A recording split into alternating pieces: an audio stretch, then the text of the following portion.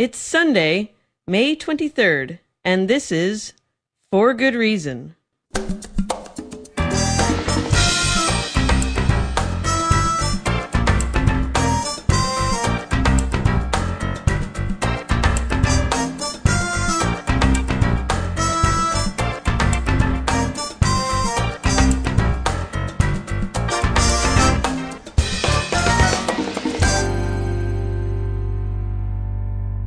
Welcome to For Good Reason. I'm DJ Grothe. For Good Reason is the radio show and the podcast produced in association with the James Randi Educational Foundation, an international nonprofit whose mission is to advance critical thinking about the paranormal, pseudoscience, and the supernatural.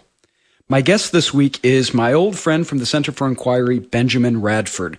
He's solved the mystery of the vampire beast El Chupacabra, only one of hundreds of unexplained phenomena he's investigated personally, including ghosts, Bigfoot, crop circles, UFOs, lake monsters, all that stuff. He's been a science based paranormal investigator for the Committee for Skeptical Inquiry since 1997. That's formerly CSICOP. Radford is author or co author of five books and hundreds of articles on science, paranormal investigating, on critical thinking. He's managing editor of Skeptical Inquirer magazine and a columnist for both Live Science and Discovery News. He's been featured on all the networks what CNN, BBC, ABC News, History Channel, Discovery Channel, Learning Channel, National Geographic, all of them.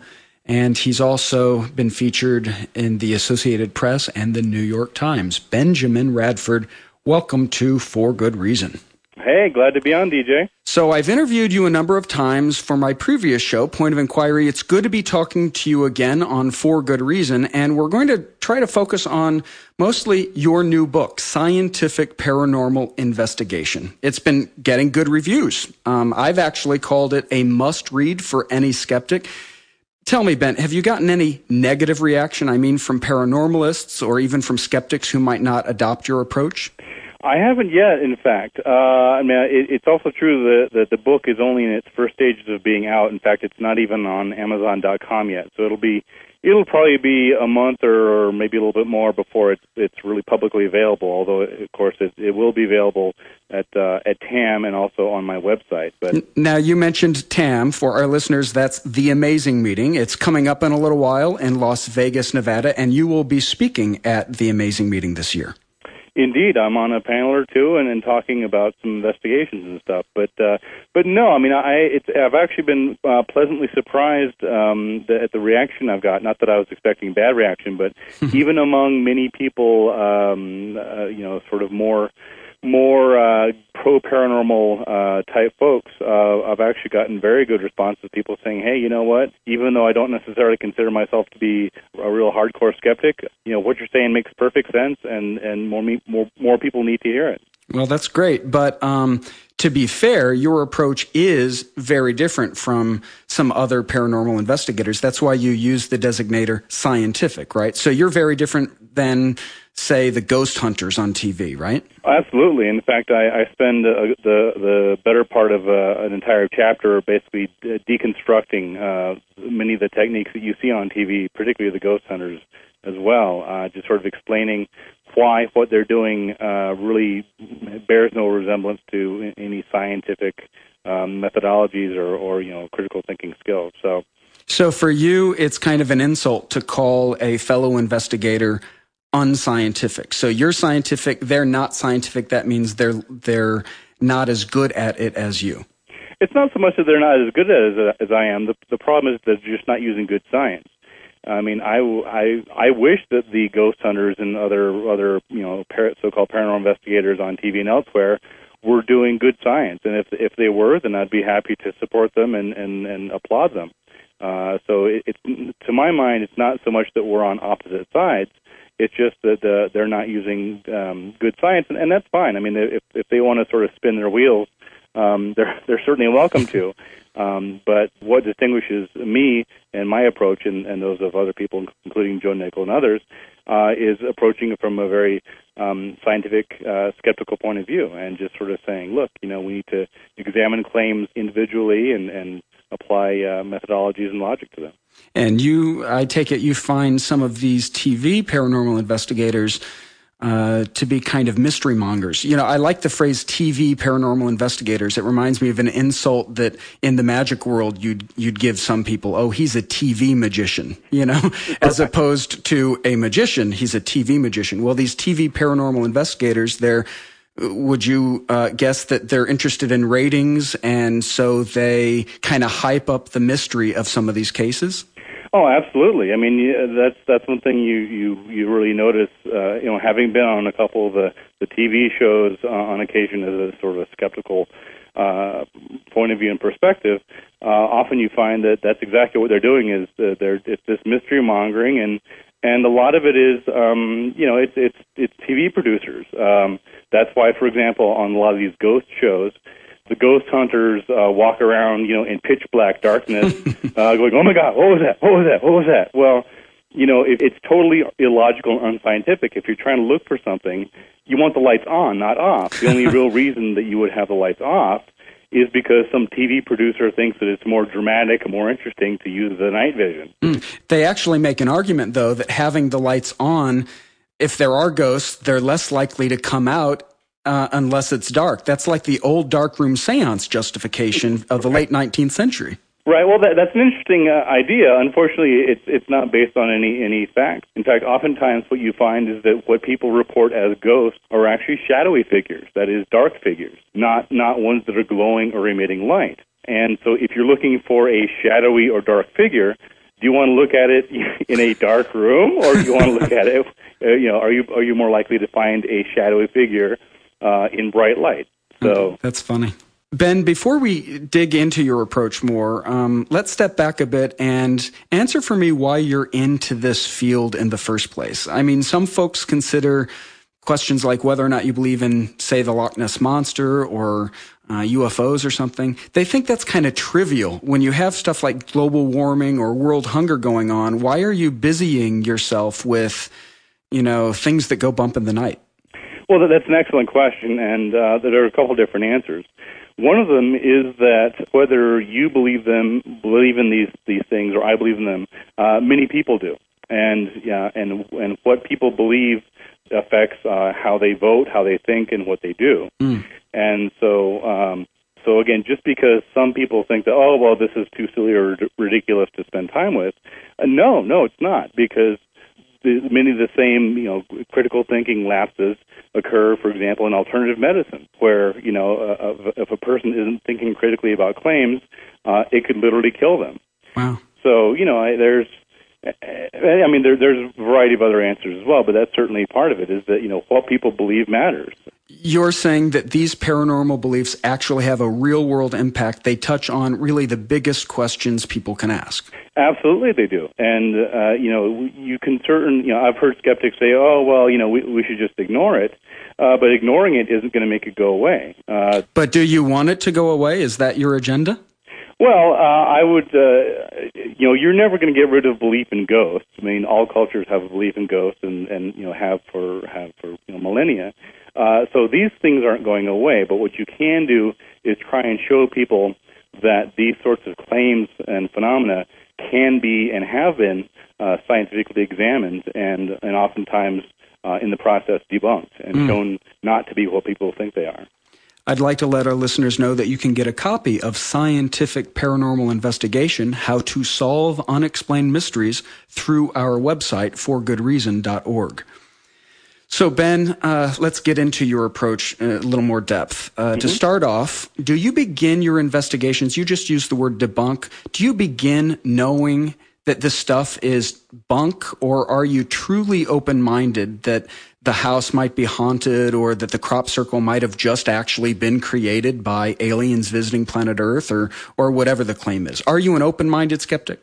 I am indeed. Uh, I don't. I don't go into a, an investigation with a preconceived notion about what I'm going to find. Certainly, my past experience and knowledge in the field, and I've been doing this for 10, 12 years now. Certainly, that informs my investigations, and it, it tells me what to look for.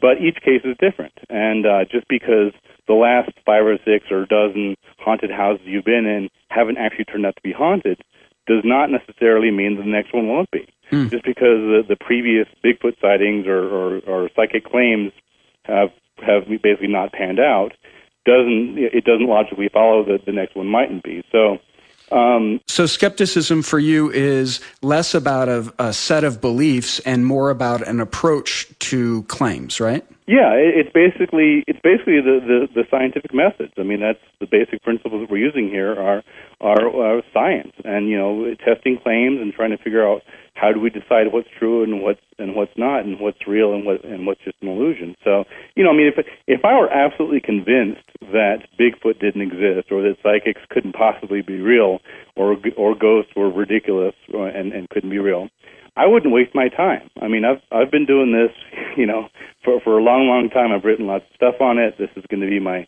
my fourth or fifth book. I got another one coming out later on. So I've devoted much of my life to this sorts of these sorts of investigations, and so uh, to me, these are not ridiculous, silly things. These are things that are worthy of, of you know of legitimate uh, analysis. Right. It'd be a kind of stupid career decision to be chasing after all this stuff if you thought you know 100% certain that it's all nonsense. I mean why why spend your life doing that? Do something more important right? Exactly. I mean this is the way i look at it is that either these things exist or they don't. Either if you're talking about psychics bigfoot uh, you know whatever unexplained phenomenon you're talking about either these things are actually real either they actually exist in the real world independent of us or they don't. If they do then we as as as people and as scientists need to understand them. Uh, if these things are actually out there, we need to we need to find out what ghosts are. We need to find out what Bigfoot is. On the other hand, if these things do not exist, if they're not real, then the question becomes a psychological one and a social one. The question becomes why are people reporting things and experiencing things that don't seem to exist? So, mm-hmm. to my mind, it's a fascinating question either way. I see. So, after all these years, you do allow for the possibility that you might uncover something legitimately supernatural or paranormal, but make sense out of something for for me. You're you're saying you're open-minded, but isn't it the truth that really all of your investigations end up debunking these claims?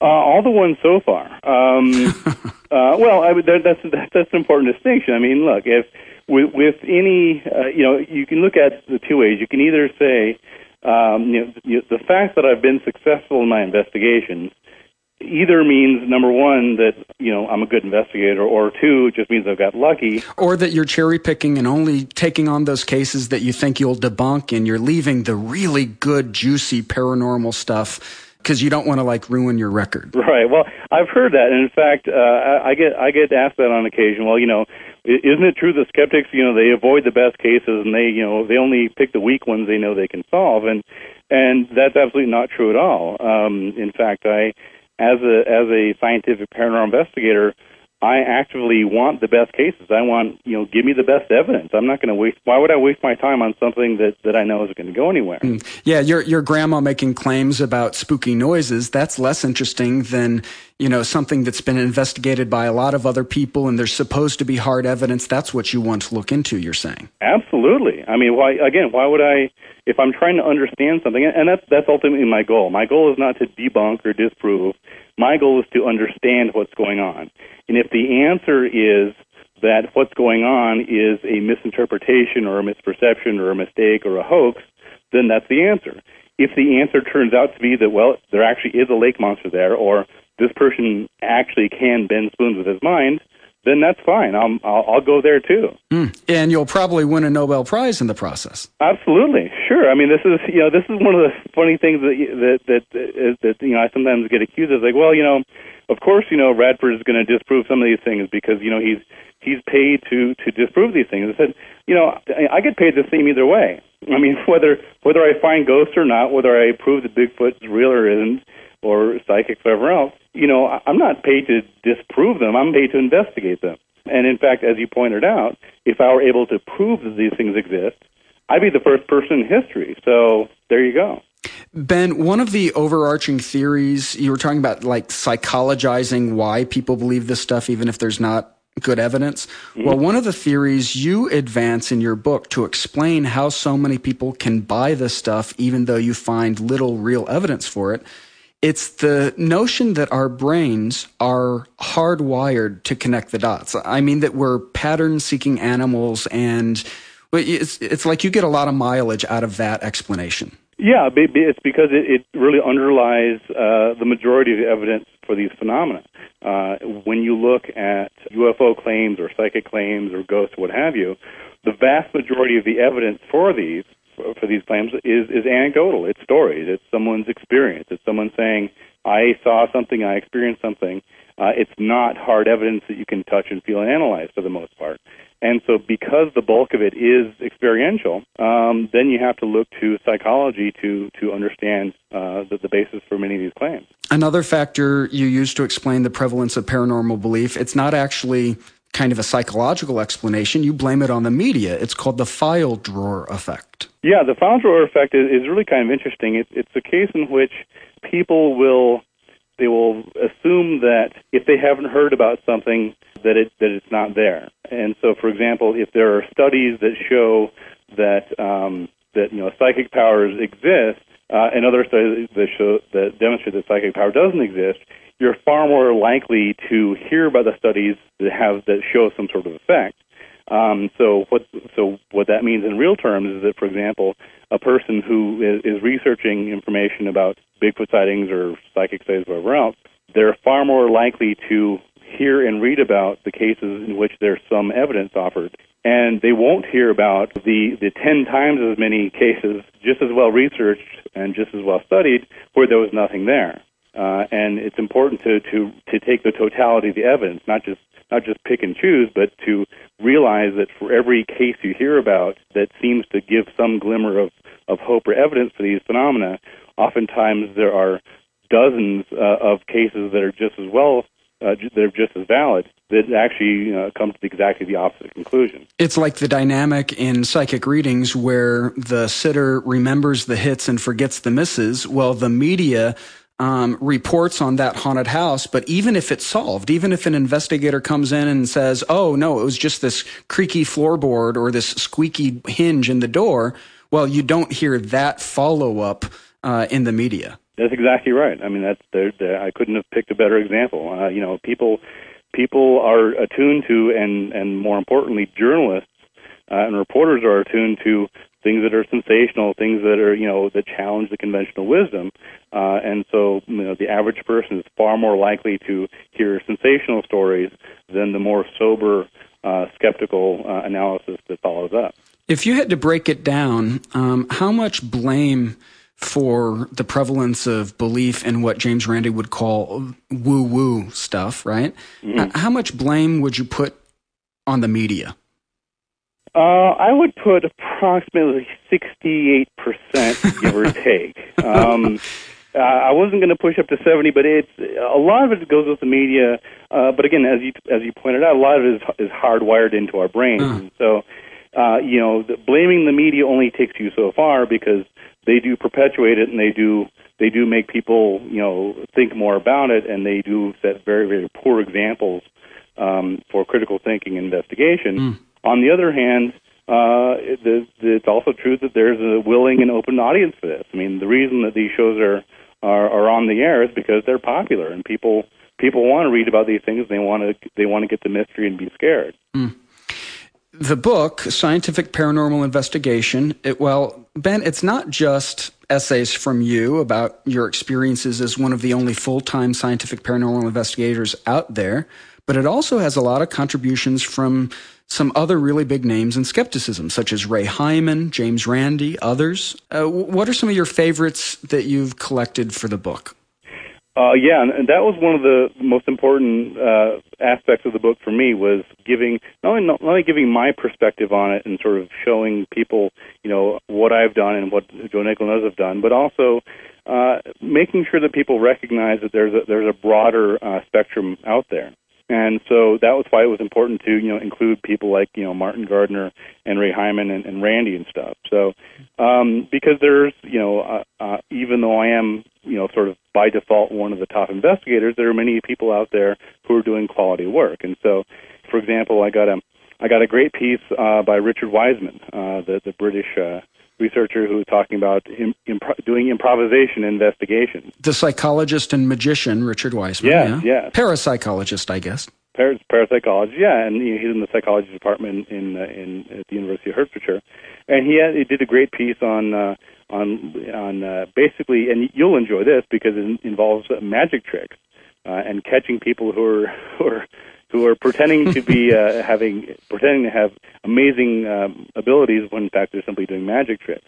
Um, and in fact, um, Martin Gardner did a, did a similar piece talking about uh, the testing of a woman named uh, Susie Cottrell, um, and also in, in conjunction with uh, James Randi as well, um, and Joe Nickell and many others. So that was that was that was why I was glad to get a, a broader perspective and sort of you know bring people under the tent and say, look, you know, there's there's lots of good work being done out there. That's one of the reasons why this book is so comprehensive, and it's gotten kudos from really the biggest names out there Michael Shermer, Martin Gardner, Richard Wiseman, you know, really a who's who of skeptics have looked at this book and said, you know, it's it's the book, it's the must read. Shermer said it's a brilliant manual, you know, so that's uh, that's not too shabby. I was very pleased to get that, and and I, I I certainly hope, and I don't believe that that these are just sort of you know uh, back scratching uh, other other skeptics. I mean, I I again, and part of the reason I think that is because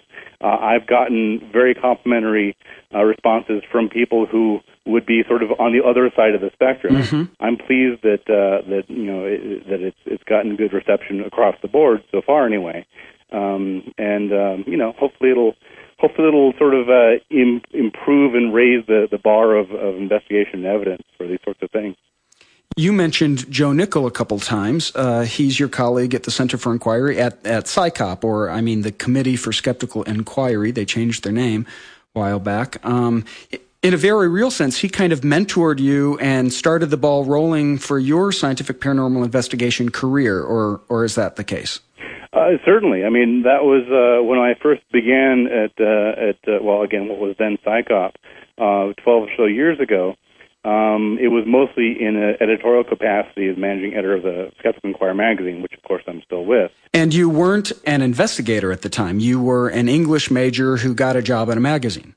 Well, I had a degree in psychology at the time. Oh, I see. But yeah, I, I had uh, I had done some little investigation on my own, but certainly uh, certainly I, I learned uh, much uh, in many of my uh, investigations with Joe. We did stuff for the Discovery Channel and History Channel, and and we did many investigations together, some of which appear in the book. Mm-hmm. And then I, I sort of started branching out, doing my own investigations as well, and so therefore I, I got a good a good broad perspective uh, of, uh, of methodologies and investigative techniques across the board. But uh, I certainly learned a lot from Joe, and he's, uh, you know, it's. Um, I dedicate the book to Joe and Randi. I say, you know, for Joe and Randi, the best of the best, and they certainly are. Mm.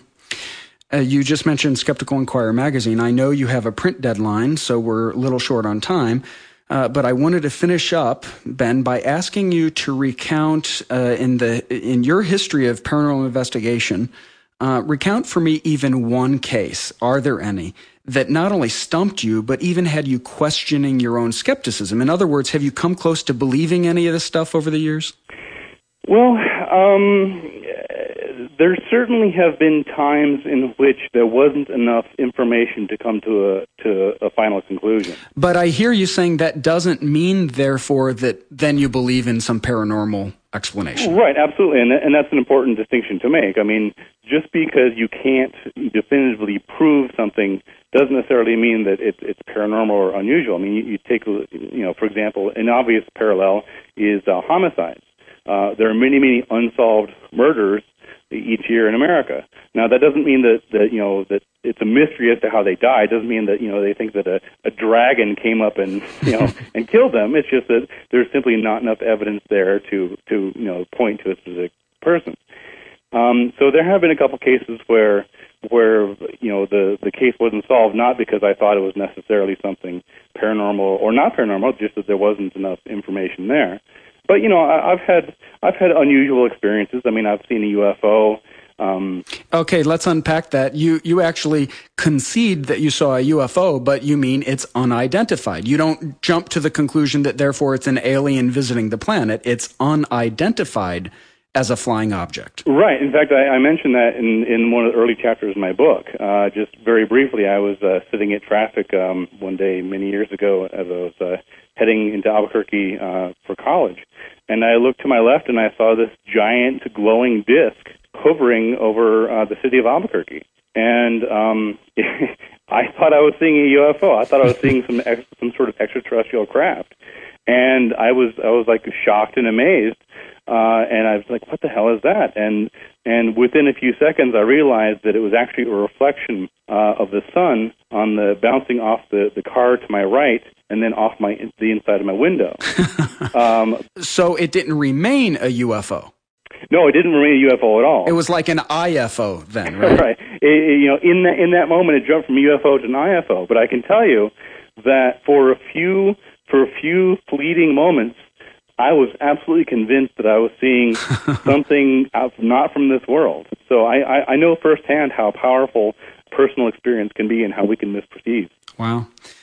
Well, we have only scratched the surface, Ben. We'll have to have you back on to delve into some of your cases in more depth, like maybe the Lake Ogopogo monster or your solving of the Chupacabra mystery, maybe your investigations into demonic hauntings. That, that sounds a little spooky. Um, so, with that, Ben, thank you for joining me on For Good Reason. Good to be on. Good to talk to you, DJ. Thanks.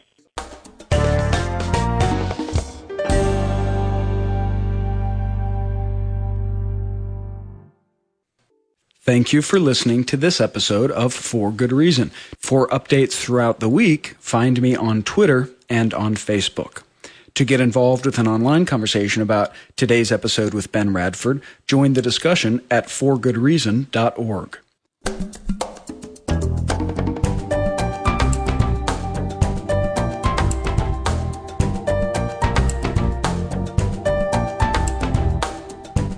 For Good Reason is produced by Thomas Donnelly and recorded from St. Louis, Missouri. For Good Reason's music is composed for us by Emmy Award nominated Gary Stockdale. Christina Stevens contributed to today's show. I'm your host, DJ Grothe.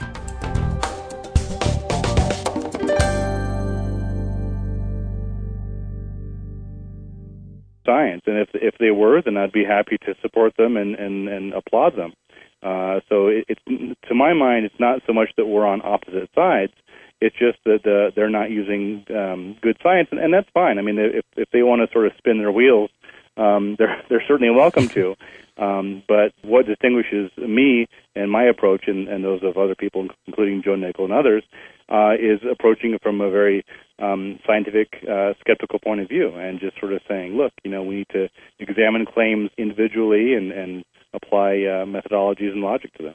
And you, I take it, you find some of these TV paranormal investigators uh, to be kind of mystery mongers. You know, I like the phrase TV paranormal investigators. It reminds me of an insult that in the magic world you'd you'd give some people. Oh, he's a TV magician. You know, as opposed to a magician, he's a TV magician. Well, these TV paranormal investigators, they're would you uh, guess that they're interested in ratings and so they kind of hype up the mystery of some of these cases? Perfect sense, and and more more more people need to hear it. Well, that's great, but um, to be fair, your approach is very different from some other paranormal investigators. That's why you use the designator scientific, right? So you're very different than, say, the ghost hunters on TV, right? Absolutely. In fact, I, I spend uh, the the better part of uh, an entire chapter basically de- deconstructing uh, many of the techniques that you see on TV, particularly the ghost hunters as well. Uh, just sort of explaining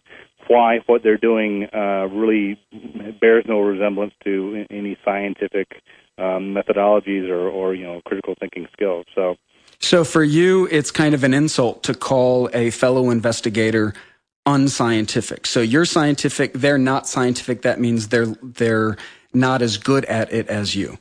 It's not so much that they're not as good at it as, as I am. The, the problem is that they're just not using good science. I mean, I, I, I wish that the ghost hunters and other other you know par- so-called paranormal investigators on TV and elsewhere were doing good that stuff. He's been a science-based paranormal investigator for the Committee for Skeptical Inquiry since 1997. That's formerly CSICOP.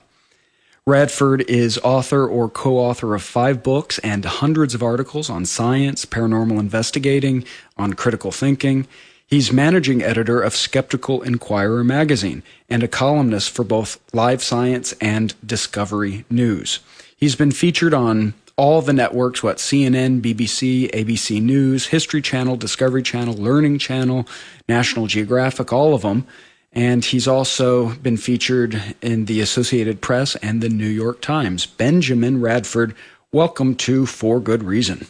Hey, glad to be on, DJ. So, I've interviewed you a number of times for my previous show, Point of Inquiry. It's good to be talking to you again on For Good Reason. And we're going to try to focus on mostly your new book, Scientific Paranormal Investigation. It's been getting good reviews. Um, I've actually called it a must read for any skeptic. Tell me, Ben, have you gotten any negative reaction? I mean, from paranormalists or even from skeptics who might not adopt your approach?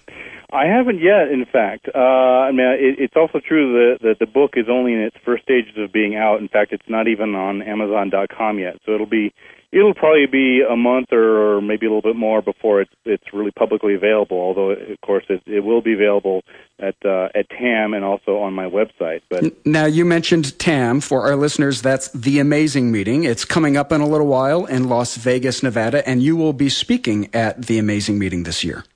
Indeed, I'm on a panel or two and, and talking about some investigations and stuff. But uh, but no, I mean, I it's I've actually been uh, pleasantly surprised um, the, at the reaction I've got. Not that I was expecting bad reaction, but even among many people, um, uh, you know, sort of more more uh, pro paranormal uh, type folks, uh, I've actually gotten very good responses. People saying, "Hey, you know what? Even though I don't necessarily consider myself to be a real hardcore skeptic, you know what you're saying makes." It's Sunday, May 23rd, and this is For Good Reason.